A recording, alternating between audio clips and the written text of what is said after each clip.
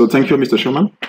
Uh, it's a pleasure for me to present you the first works and results we obtained uh, with uh, our student uh, Wassim Ouelhazi, uh, Wassim Ouelhazi about uh, the mesoporosity coated Love wave sensors for micro viscosity measurements and with finite element modeling modelizations. So uh, my uh, presentation will start with uh, an introduction in the presentation of the Love wave sensor principle. I will uh, show the first result with uh, finite modeling simulation and result with for uh, obtained after experimental study. And I will conclude my, my talk. so the so sensors area for chemical and biological detection is very large. Like in chemical industry, environment and biological and health. And each in each uh, these areas, uh, we need to make biosensing in liquid medium. Especially in biological and, bio and medical field, uh, the the need to have uh, sensing with low uh, volume samples is important. It's on which we will focus in this presentation. So the sensor principle is uh, shown here. Uh, everybody know how it works. Um, first, we have a transducer on which we will deposit an active layer. Uh, in the case in which we will detect chemical or biological targets, we can functionalize this active layer. In our case, uh, we can uh, we can we can avoid uh, functionalization in the case of physical parameters estimations. The transducer we use is uh, an acoustic transducer here. The simple, the principle is simple. You have two IDTs here and here. In the first one, we can call, call it the emitting IDT. Uh, after we applied an electrical signal and uh, we generate a mechanical displacement. This mechanical displacement will propagate all along the acoustic path here. And the receiving IDT Uh, will uh, translate, will uh, make the conversion between the mechanical displacement and the IDTs to an electrical signal.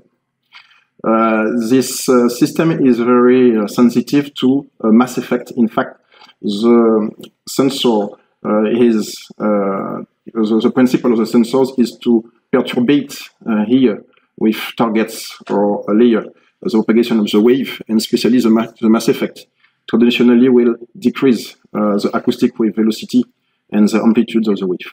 And by doing that, we can have very sensitive device, and we can have device uh, which allow to make detections in liquid medium. So our device is presented here.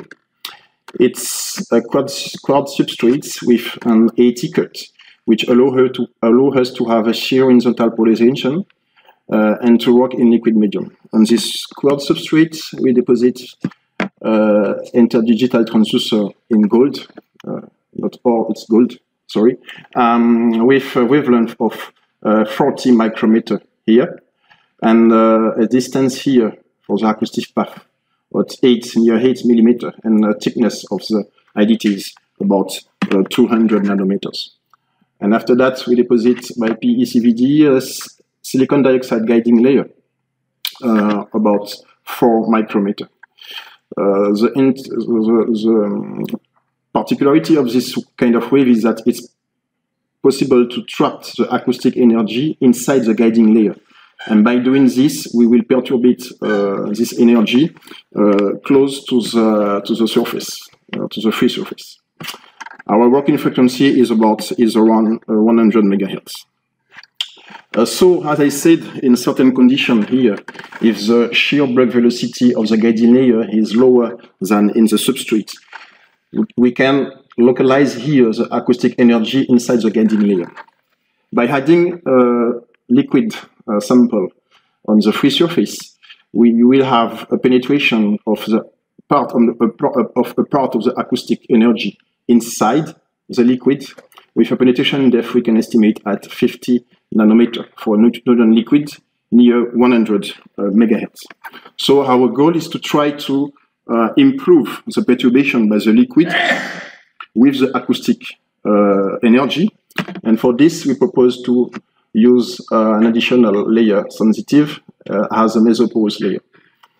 in this condition that the bulk velocity of the mesoporous layer is lower than in the guiding layer, layer excuse me, uh, a part of the acoustic energy could be trapped inside the mesoporous layer, as you can see here. And by deposit the liquid here, you will have um, the liquid inside the porous layer, and by doing that, by doing that, an increase of the perturbation of the acoustic energy disturbed by, by the liquids. For this, the candidate, the candidate we propose, it's very known layer as titanium dioxide realized by our partner in Paris. Uh, this layer is uh, realized by the sol gel technique and deposited by spin coating, uh, characterized by ellipsometric porosimetry. Uh, we have ellipsoidal shape, shaped mesopore near the, the size of the nanometer, a few nanometer, and the mesopore are linked through short channels in, uh, on the side of nanometer. Each deposition is about 100 nanometer of thickness with a high specific area, area as you can see, you can see there. So to estimate uh, how the wave propagates inside uh, the device, uh, we propose to make uh, uh, finite element modelization. Uh, typically, in the team, uh, we uh, used analytical or numerical modelization. And by doing this, we managed to make modelization of uh, layers, but it was difficult to do it, it in for mesoporous layer. Is the reason why we try to do this. We use the COMSOL multiphysics software here you have the modelization of the device. And uh, by applying, for example, here analytical potential, you can see the total mechanical displacement of the wave. First, to validate the first the, the result we obtained, we compared uh, this first simulation to uh, previous works. And we can see in this graph that we have the shear horizontal component in the guiding layer, uh, which is uh, compatible with a Love wave device a Love wave propagation device.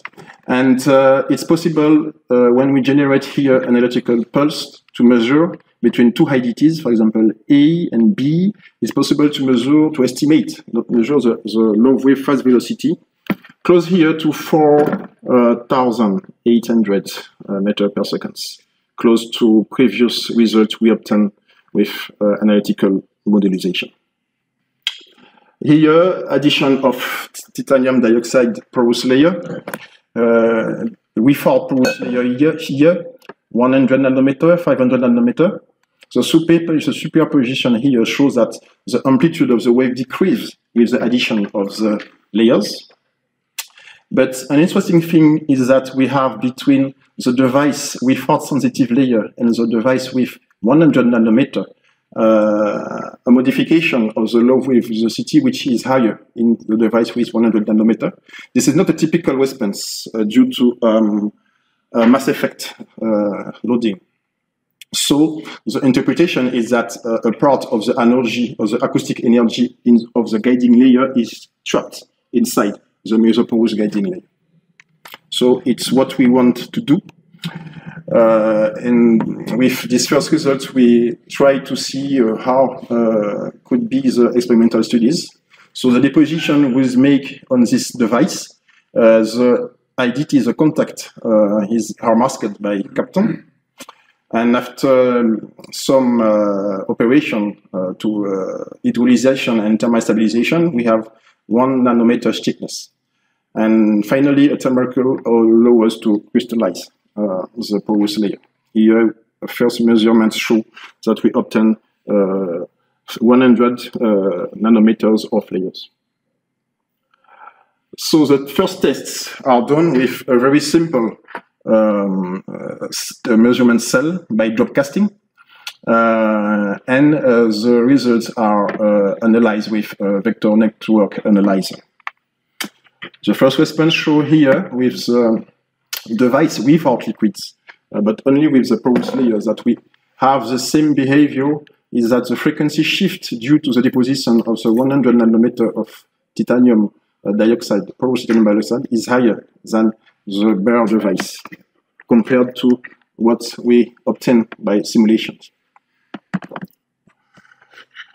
Here, uh, in order to see uh, the difference between uh, the, the perturbation between the waves, the, the Love wave and the liquids, here we compare two devices, two devices, the bare devices, and a device with 300 nanometers with three different samples. We use uh, 50 microliter uh, volume of samples. We can easily see here between this response and this response in the insertion losses that we have a higher perturbation of the waves uh, due to the presence of the sensitive layer here. And we can have this information too here uh, with the response, uh, with the phase, uh, the phase of the measurement of the phase of the device. Um, these measurements are done after 30 minutes of exposition of the droplets inside the measurement cell. This is, it could be a limitation of this kind of device because here, uh, with three devices, if we, if we want to have um, a stabilization for here, for example, the fine nanometer uh, titanium dioxide porous layer, we have to wait two hours. It could be a limitation, but we can have a big increase of the, of the sensitivity up to five. This curve, in fact, is here up to five after 30 minutes uh, of exposition, to seven after one, uh, two hours, and if we have a very optimized device, uh, up to 30 or 50 more of sensitivity. So as conclusion, I can say that the modelization by, by finite element method uh, is a good technique in order to take into account the physical parameters of the porous layer. It's difficult to do it analytically. So the most um, important uh, um, parameters are the pore size, the porosity, and the thickness of the layer, but many other parameters which are difficult to estimate, we can take them into account. We have obtained good agreement between experiment and simulation, and we can increase uh, the, uh, significantly uh, the, um, the sensitivity of the device versus viscous dumping. Our future work is to will be to uh, improve uh, the simulation tool in order to um, estimate and to optimize the device and to trap more acoustic energy uh, as possible in the sensitive layer. Thank you for your attention.